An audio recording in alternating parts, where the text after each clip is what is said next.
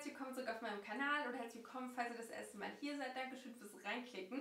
Wir machen heute einen Beauty Haul mit neuen Summer Produkten. Ich habe ganz viele neue Cream Blushes, Lip Tints, Lip Balms, Skin Tints, Highlighter, bisschen Pflege und das wollte ich euch zeigen und mit euch zusammen ausprobieren. Vergesst nicht einmal auch noch den Subscribe-Button zu drücken, bevor es losgeht und gebt dem Video gerne einen Daumen nach oben, falls es euch gefallen hat. Und dann würde ich sagen, legen wir los. Ich habe Lip geholt, die jetzt überall so krass gehypt werden. Ich hatte das bei YouTube gesehen, Laura Lee hatte das quasi getestet, ob der Hype real ist von TikTok. Und es sah so wunderschön aus. Es war so, so glänzend und hat trotzdem halt schön viel Pigment abgegeben, dass ich die mir sofort in den Warenkorb gepackt habe. Ähm, habe es dann aber irgendwie vergessen, nicht direkt bestellt. Ein paar Tage später, als ich dann wirklich die Bestellung aufgeben wollte, waren alle einfach ausverkauft. Alle. Und dann habe ich ein paar Tage später nochmal nachgeschaut und dann waren ähm, ein, zwei Farben wieder in Stock. Und ich habe jetzt quasi zwei von diesen neuen Lip Plumper mitgenommen. Also das sind, ähm, es gab diesen Juicy Lip Gloss quasi, Lip Balm schon vorher. Das ist aus dieser Tarte Maracuja Linie. Und jetzt sind die halt mit einem Lip Plumper noch rausgekommen. Das ist im Endeffekt dasselbe, aber dieser Lip Plumper hat noch so einen leichten Tingle-Effekt. Und so sieht der jetzt auch im neuen Design aus. Und dann könnt ihr den hier aufmachen. Und dann hat er hier so einen Klickmechanismus. Finde ich auch ganz nett. Ich habe einmal die Farbe White Peach. Die ist leider schon sehr, sehr hell. Die würde ich auf jeden Fall mit einem Lip Liner kombinieren. Das testen wir jetzt mal gerade. Ich benutze da jetzt so einen nudefarbenen Lip Liner. Die sind halt sowas von cremig, also das ist quasi hier schon am runterschmieren, so bis es schmelzen würde. Und mit dem hellen habt ihr halt so einen ganz schönen Ombre-Effekt, finde ich. Das ist im Endeffekt sowas wie ein sehr, sehr, sehr glänzender Balm oder wie so ein Sheer-Lipstick, der halt noch ziemlich viel Pflege dabei hat. So würde ich es jetzt beschreiben, nicht unbedingt als Lipgloss. Also Lipgloss ist für mich flüssig und mit einem Applikator. Und das ist ja jetzt eigentlich eher in so einer Lippenstiftform. Aber halt wirklich unique in der Art, weil sowas Glänzendes mit dann doch dementsprechend Farbe habe ich halt sonst nicht. Nächstes habe ich den Ton Primrose mitgenommen. Ich glaube, das war auch einer der Töne, die relativ häufig bei TikTok gezeigt wurden. Okay, also ich glaube, viel juiciger geht's nicht. Ich glaube, da werde ich richtig, richtig auf diesen Sommer zugreifen. Besonders den Ton finde ich super schön, weil das irgendwie so ein äh, Ton ist, der so zu den meisten Sachen gut passt. Zu den meisten Hauttypen auch gut passt. Was jetzt wirklich das Lip Plumpen angeht, also das hat ja jetzt so einen kleinen Tingle-Effekt, das spürt man auch wirklich direkt. Ist aber trotzdem erst ein bisschen dezent. Also ich weiß nicht, ob das nicht doch eher nur ein Placebo-Effekt ist. Dann habe ich noch einen von den Klassikern mitgenommen. Da dachte ich eigentlich gar nicht, dass der durchkommt, weil eigentlich schon im Warenkorb, dass der auch ausverkauft wäre. Das ist jetzt quasi dasselbe, hat aber halt nicht diesen Lip Plumping Effekt. Und das ist die Farbe Coconut. Und die sehen halt von der Verpackung her auch ein bisschen anders aus, nicht ganz so schön wie die neuen. Aber hat hier auch wieder diesen Klickmechanismus. Sieht gerade in der Kamera ein bisschen rötlicher aus, als es in Live ist. Das ist, glaube ich, so mein Lieblingston. Das ist so ein mh, brauner Nude-Ton, braun-orange, karamellig. Und das ist eigentlich so mein Lieblings-Nude, deswegen ich glaube von den Farben her wäre das jetzt hier mein Favorit.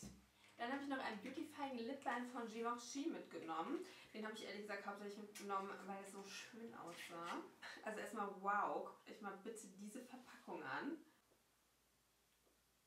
Ich weiß nicht, ob ihr das sehen könnt, aber das ist wie so eine rosa Lederverpackung. Ich hatte noch nie ein Lippenprodukt von Givenchy. Ah.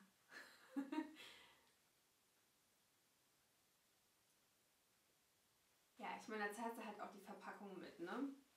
Aber sehr, sehr schön. Auch dieser Rosaton.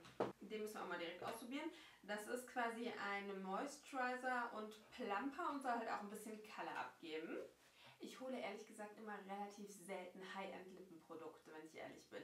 Also ich gebe gerne Geld aus für Foundations, Puder, Concealer, Lidschattenpaletten. Aber bei Lippenprodukten denke ich mir irgendwie immer so, da gibt es auch richtig, richtig gute Drogeriealternativen. Deswegen, das ist jetzt wirklich eine Ausnahme, dass ich jetzt wirklich mal so ein paar High-End-Dinger dabei habe. Also das mache ich normalerweise nicht. Ähm, ja, ist das erste Mal. Ich bin mal gespannt, ob ich es bereuen werde.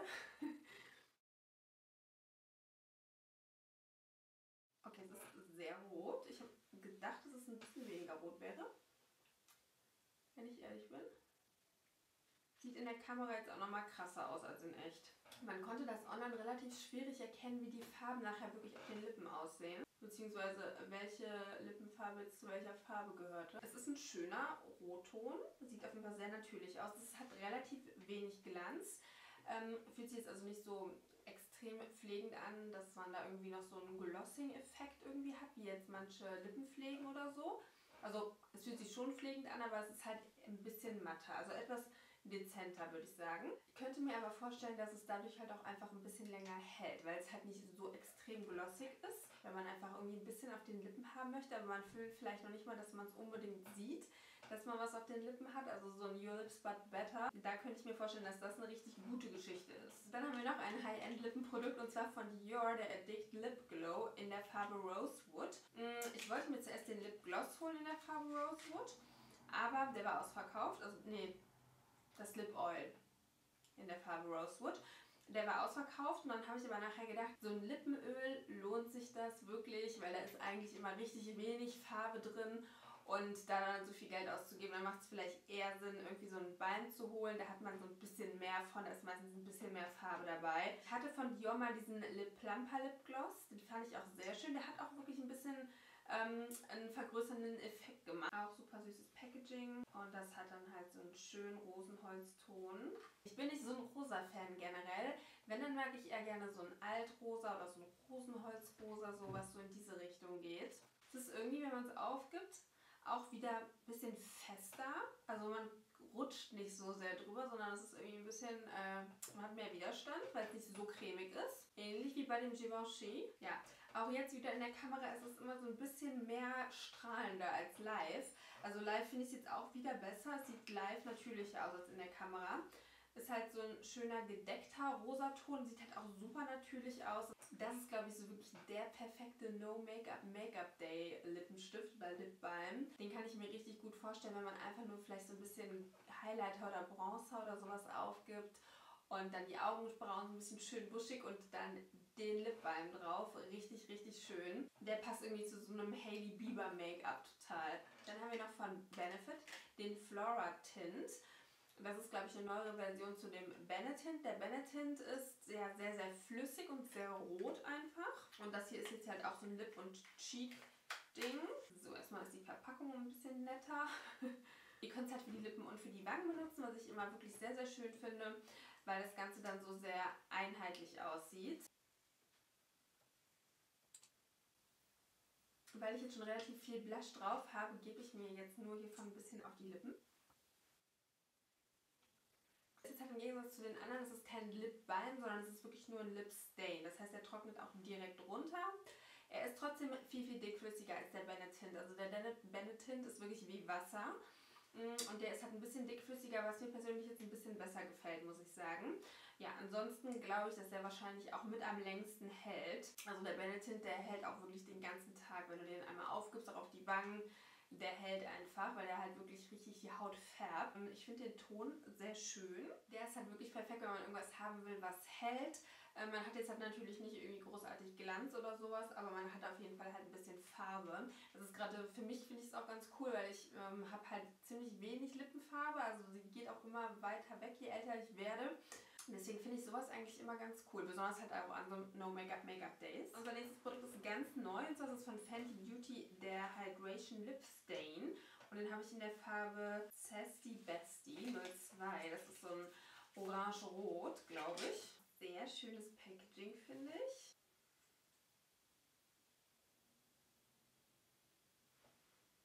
Und ich liebe den Rotton. Das ist so ein Feuer-Orange-Rotton. Das ist wirklich mein allerliebster Rotton. Äh, den trage ich im Sommer gerne, sowie auch im Winter. Und finde ich jetzt viel besser als diese bärigen Rottöne oder so. Und der ist wahrscheinlich richtig intensiv. Ich kann mir gut vorstellen, dass das so ein bisschen hier wie der Vinyl-Ink von Maybelline funktionieren könnte. Ich habe jetzt hier mal gerade gelesen, also er lässt halt diesen schönen Wet-Look. Er soll trotzdem auch Hydration geben. Und wenn das halt runtergetrocknet ist, soll er halt so einen soften Lip-Stain lassen. Das müsste ich jetzt mal über ein paar Stunden ausprobieren, wie lange jetzt erstmal dieser wunderschöne Glanz bleibt und wie intensiv danach der Lip Stain noch ist. Aber bis jetzt bin ich erstmal super happy und dieser schöne Wet Look, der auf den Lippen ist, gefällt mir besonders gut. Bevor wir jetzt gleich weitermachen mit anderen Make-up-Produkten, ich habe noch ein paar Blushes und Brushes und Skin Tints, ähm, wollte ich euch ein Hautpflegeprodukt zeigen. Und zwar ist das von Pharmacy das Very Cherry Bright. Das ist ein 15%iges Clean Vitamin C Serum in meinem letzten Video, das war so ein aktuelles Beauty-Favoriten-Video, ja schon von Pharmacy den Honeymoon Glow gezeigt.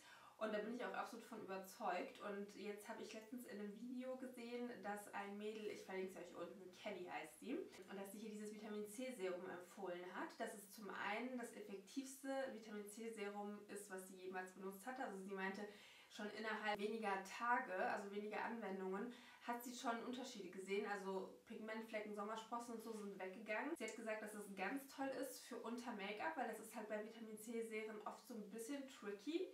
Und dass es halt auch wirklich die Haut nicht irritiert hat. Und ich habe es jetzt auch schon ein paar Vitamin C Serien ausprobiert. Zum einen muss ich sagen, ich habe da irgendwie einen großartigen Effekt für mich gesehen. Ähm, dann waren manche sehr unangenehm vom Geruch her, von der Konsistenz her oder es war halt wirklich unter Make-up nicht gut.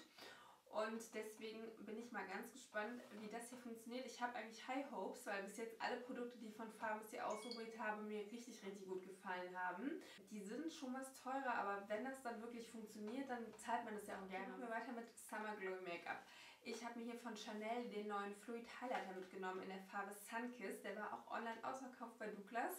Äh, ich hatte ihn aber noch in meiner Filiale zum Glück bekommen. Und den habe ich auch schon ein, zwei Mal getragen. Ich habe ihn heute auch drauf. Ich muss auf jeden Fall mal ein Video machen, in dem ich die neuen Chanel Sommerprodukte verwende, weil ich bin so begeistert. Das Ganze ist jetzt wie gesagt der Ton Sunkiss. Es gibt das auch noch im Ton, ich glaube Pearl heißt der, Pearly Beige oder so. Das ist halt so ein bisschen heller. Äh, den hätte ich mir jetzt auch holen können. Ich war auch ehrlich gesagt am überlegen, aber der ist jetzt glaube ich für den Sommer ein bisschen schöner. Und der ist wirklich sowas von fein. Also ich habe mir den heute Morgen aufs gesamte Gesicht aufgegeben und habe dann darüber dann einen Skin Tint gegeben. Und dann kann man sich halt nachher auch nochmal ein bisschen auf die Halbfalz aufgeben, um es nochmal so ein bisschen zu intensivieren. Und es ist einfach purer Schimmer, ohne Glitzer.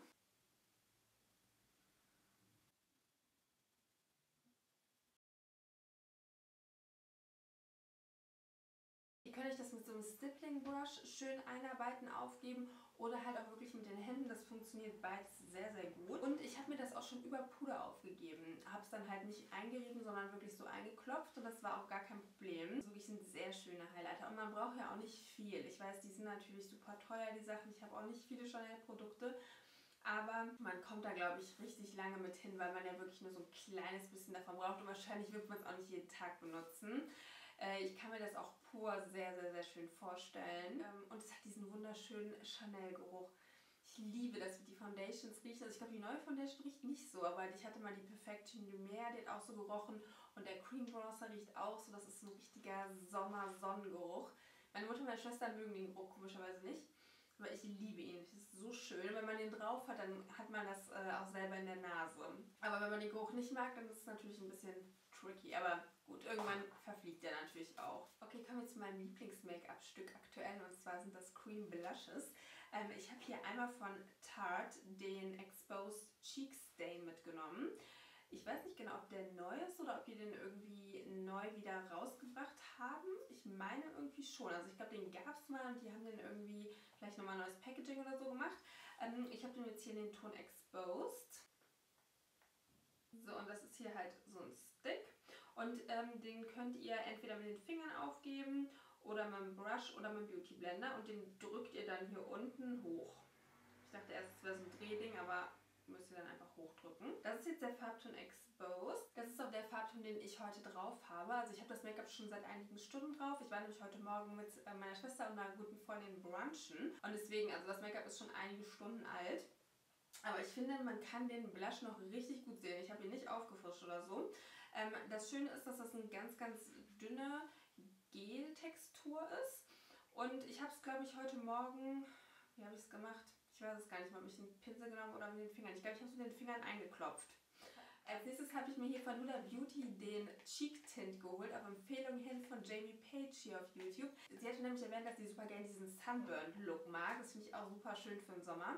Und sie hat eigentlich in der Vergangenheit immer eher so zu koralligen Tönen gegriffen, aber eigentlich ist es eher ein Rotton. Und dann hat sie sich halt diesen Ton bestellt und dachte eigentlich erst, okay, das ist viel zu dunkel und hat dann nachher gemerkt, dass man halt damit wirklich diesen schönen Sunbird-Look super hinbekommt.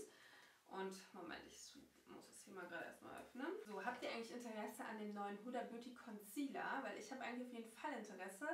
Aber manchmal habe ich irgendwie das Gefühl, dass das gar nicht mehr so interessant ist, wenn man irgendwie so Concealer, ähm, Wear-Tests oder sowas macht. Weil ich hatte überlegt, mir den zu holen. Ihr könnt mir ja mal einen Kommentar lassen, ob ihr da interessiert dran seid, weil der soll irgendwie luminous und matt zugleich sein. Keine Ahnung, wie das gehen soll.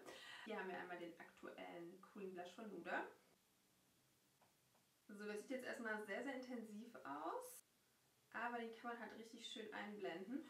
Und ich glaube, damit kann man sehr, sehr schöne Looks machen. Ich kann mir das schon vorstellen. Ich gehe mal davon aus, den kann man sich wahrscheinlich auch auf die Lippen geben und dann sieht wirklich alles sehr schön harmonisch passend aus im Gesicht. Und der ist ähnlich wie auch hier der Tarte Blush, eher so gelig und sehr dünn von der Textur her. Und ist, glaube ich, deswegen sehr, sehr leicht einzuarbeiten und liegt nicht irgendwie oben drauf oder so. Und ich muss sagen, das Packaging sieht live viel schöner aus als im Internet, weil ich fand irgendwie, dass die ein bisschen günstig aussahen, die ähm, Blush-Tints von Huda. Aber ich finde jetzt so live, hier das ist matt und dann hier mit der transparenten Hülle, Sieht eigentlich ganz süß aus. Also es ist nicht unbedingt das schönste Packaging von ihr, finde ich. Aber sieht auf jeden Fall viel besser aus als mit. Das wollte ich auch mal kurz erwähnen. Dann habe ich noch eine Lip and Cheek Cream mitgenommen von Stila. Die ist, glaube ich, auch neu oder relativ neu. In der Farbe Lilium. Und da habe ich jetzt gelesen, zufällig, ich habe es nicht deswegen geholt, ähm, dass die Hauptdarstellerin in der Serie Bridgerton, ich weiß jetzt noch gar nicht mehr, wie die heißt, ich habe die erste Staffel gesehen, auf jeden Fall, dass sie wohl das hier drauf hatte, dass es ihr Blush war. Und den kann man halt für Wangen und Lippen benutzen. Und ich habe den gestern schon mal geswatcht. Ich war erst so ein bisschen beunruhigt, weil hier waren so komische Wasserperlen drauf. Dann dachte ich erst, ob der irgendwie nicht mehr gut ist. Aber dann hatte ich gedacht, okay, ich habe das Paket im Auto. Vielleicht hat das deswegen irgendwie geschwitzt. Also jetzt ist auch nichts mehr drauf. Und das ist so ein richtig schönes, blasses Rosa. Der ist auf jeden Fall so ein bisschen dicker von der Textur, so ein bisschen cremiger, also sehr cremig, sehr pflegend fühlt er sich an. Ganz anders jetzt von der Textur her als hier von Tarte oder der von Huda Beauty. Bin ich mal gespannt. Ich hoffe, dass er da nicht irgendwie zu sehr oben drauf liegt. Ich habe von Mel Cosmetics einen, der ist auch super cremig und habe ich manchmal das Gefühl, dass der so für meine Poren und so nicht so vorteilhaft ist. Aber ich finde die Farbe super schön und ja, ich finde es auch immer schön, wenn man halt, wie gesagt, was auf die Lippen und die Wangen im gleichen Ton aufgeben kann. Das ist zum einen super praktisch, zeitsparend und es sieht halt immer sehr schön einheitlich aus. So, dann habe ich mir noch von Tarte einen Breezy Blender Cream Bronzer Brush mitgenommen. Ich habe nämlich das Problem, dass einige Bronzer irgendwie so ein bisschen fleckig werden, besonders so auf dem Stirnbereich. Und ich weiß wahrscheinlich, woran es liegt. Ähm, deswegen habe ich gedacht, okay, probiere vielleicht mal so einen fester gebundenen, breiten Pinsel. Der sieht, sah ganz gut aus. Hui. Der ist schwer. sieht aber sehr schön aus. Den kann man dann auch so hinstellen. Very cute. Und ähm, hat so eine schöne Batik, so ein schönes Batik-Muster. Ich mag ja sowieso sehr gerne die Tarte C-Serie, also auch die Hydroflex Foundation. Wollte ich auch noch unbedingt ein Video zu machen richtig, richtig gut, besonders für den Sommer. Da bin ich mal gespannt. Also er fühlt sich super weich an. Ich habe ein paar andere Pinsel auch von Tarte. Die sieht man irgendwie gar nicht so oft, aber die sind richtig gut. Die sind relativ teuer, aber ähm, finde ich von der Qualität her sehr gut und die sind auch so ein bisschen unique, muss ich sagen.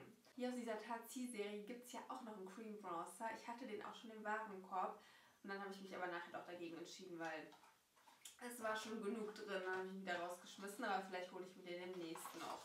So, dann habe ich hier noch eine Foundation mitgenommen und zwar ist das von One Size die Turn Up the Base BBB Cream. Und ich habe mir letztens schon ganz viele Produkte von One Size geholt. Ich bin super begeistert von der Marke. Das ist, glaube ich, irgendwie meine neue Lieblingsmarke. Bis jetzt hat mir alles sehr, sehr, sehr gut gefallen, was ich ausgetestet habe von der Marke. Das ist von ähm, Patrick Star, von dem YouTube-Star, die ähm, Marke. Und die gibt es seit ein paar Monaten halt bei Douglas. Und jetzt sind auch letztens Gott sei Dank seine neuen Produkte endlich nach Deutschland gekommen. Da habe ich dann mir direkt ein paar Produkte geholt und hiervon war ich so begeistert, dass ich mir dann direkt noch eine andere Farbe geholt habe. Es waren auch schon richtig viele Farben ausverkauft und die Blushes waren komplett ausverkauft, glaube ich, bis auf ein, zwei Farbtöne. Ja, aber das kommt in einem anderen Video, da teste ich das alles zusammen mit euch vor der Kamera aus. So sieht das aus und hier habt ihr so einen Klickmechanismus und dann kommt hier das Produkt raus. Und hier steht drauf, Be the Ultimate Blur Boss with buttery, bouncy, smooth skin, texture be gone. Und das ist so. Das ist die verfeinerndste Foundation, die ich jemals in meinem Leben ausprobiert habe. Äh, sie hält den ganzen Tag, ist relativ matt, aber kann man natürlich auch mit anderen Produkten dann so ein bisschen beeinflussen. will die einfach jeden Tag nur noch benutzen, weil ich sie so liebe. Also falls ihr irgendwas braucht, wo ihr wirklich flawless, poreless, matt den ganzen Tag aussehen wollt, dann ähm, müsst ihr das hier mal ausprobieren. Das ist, keine Ahnung, echt krass. und dabei ist es auch noch vom Tragegefühl her total angenehm und samtig und es sieht nicht heavy aus auf der Haut. Also das ist richtig, richtig besonders, das Produkt. Last but not least habe ich jetzt hier noch zwei Complexion-Produkte und zwar ist es einmal von Estee Lauder die Double Wear Stay in Place Matte Powder Foundation. Die ist auch neu. Die habe ich in der Farbe 4N1. Ich persönlich habe diese klassische Estee Lauder Double Wear Foundation nie besessen. Habe sie auch noch nie ausgetestet. Ich weiß nur, dass viele Leute wirklich auf die schwören und besonders wenn die wirklich was haben möchten, was viel Deckkraft hat und lange hält. Das ist sicherlich nicht unbedingt eine Foundation für jeden Tag. Ich weiß, ich habe eine Freundin, die hat die auch damals sehr, sehr, sehr geliebt, als sie rauskam. Und als jetzt hier die Puder Foundation rauskam, habe ich gedacht, okay, die könntest du ja jetzt mal testen. Äh, ich habe ja vor kurzem auch hier von One Size die äh, Puder Foundation mir gekauft und da war ich auch sehr, sehr begeistert von. Und ich finde Puder Foundation für den Sommer halt auch wirklich nicht schlecht, weil die halt oft nochmal so ein bisschen natürlicher aussieht als diese Fluid Foundations, wenn es halt eine gute Puder Foundation natürlich ist. Ja, weil es halt auch immer dann sehr schön lange hält. Besonders wenn man vielleicht irgendwo ist, wo es halt sehr, sehr heiß ist oder sehr, sehr feucht vom Klima her, ist halt eine flüssige Foundation nicht immer unbedingt die richtige Wahl. Deswegen wollte ich die jetzt unbedingt mal ausprobieren. Da werde ich, glaube ich, auch irgendwie noch mal ein extra Video dann zu machen und die dann mit einem Wear-Test dann auch ausprobieren. Und dann habe ich mir vor kurzem noch ein anderes Produkt aus der Double Wear Serie geholt. Das ist, ich glaube, es ist ein paar Monate alt. Also noch nicht so alt, meine ich. Und zwar ist das das Double Wear Sheer Long Wear Make-up. Ich persönlich finde, dass es eher so wie so ein Tinted Moisturizer ist. Also es hat ähm, super wenig Coverage. Es ist sehr, sehr flüssig, was ich ja immer sehr, sehr mag. Äh, und es hat ein SPF von 20. Das ist das übrigens, was ich jetzt heute auch drauf habe. Und das Schöne daran halt ist, dass es halt wirklich trotzdem super, super lange hält. Und das ist ja eigentlich das Perfekte, was man im Sommer haben will. Man will was haben, was leicht ist, was vielleicht auch nicht unbedingt so viel Coverage hat, was aber halt trotzdem den ganzen Tag hält und nicht irgendwie nach sechs Stunden absolut glänzend aussieht oder fleckig aussieht oder sich abträgt oder so. Und deswegen weiß ich nicht, wieso nicht mehr Leute hier drüber sprechen. Die hat auch keine guten Bewertungen bei Douglas, habe ich gesehen. Aber ich glaube, dass manche vielleicht nicht so richtig verstanden haben, was das für ein Produkt sein soll. Also es wurde dann quasi mit der Double Wear Foundation, der Originalen, verglichen, dass das ja gar keine Deckkraft hätte und so weiter. Aber soll es ja auch nicht. Also das ist wirklich ein Sheer to Light Coverage, würde ich sagen. Also noch nicht mal Light to Medium, Sheer to Light. Und das ist ja irgendwie auch der Sinn der Sache. Deshalb kann man es halt vom Coverage her gar nicht mit der originalen Double Wear vergleichen, aber man kann es halt mit der Haltbarkeit vergleichen. Das finde ich gerade für den Sommer wirklich sehr, sehr, sehr interessant. Falls ihr noch auf der Suche seid nach einer Foundation, die super leicht ist, aber langlebig, dann lohnt es sich, glaube ich, sich die mal anzuschauen. Ich kann mir die auch richtig gut für ein Braut-Make-up vorstellen. Also besonders jetzt Bräute, die es sehr natürlich und dezent haben möchten die aber natürlich trotzdem wollen, dass ihr Make-up auch abends noch einigermaßen sitzt. Ähm, ja, da ist sie, glaube ich, richtig gut für. Also die verdient mehr High. Lasst mir gerne mal einen Kommentar da, was euer Lieblings-Cream Blush ist. Äh, vielleicht habe ich den ja noch nicht ausprobiert und dann kann ich das auf jeden Fall noch nachholen. Ähm, gebt dem Video gerne einen Daumen nach oben, falls es euch gefallen hat. Das bedeutet mir wirklich sehr, sehr viel. Ähm, ich hoffe, das Video hat euch gefallen und euch vielleicht so ein paar Anregungen gegeben für ein paar Summer Cream Must-Have Produkte. Und ich wünsche euch noch einen wunderschönen Tag, ein wunderschönes Wochenende und ich würde mich sehr freuen, wenn wir uns zu meinem nächsten Video auch wiedersehen. Macht's gut! Mua.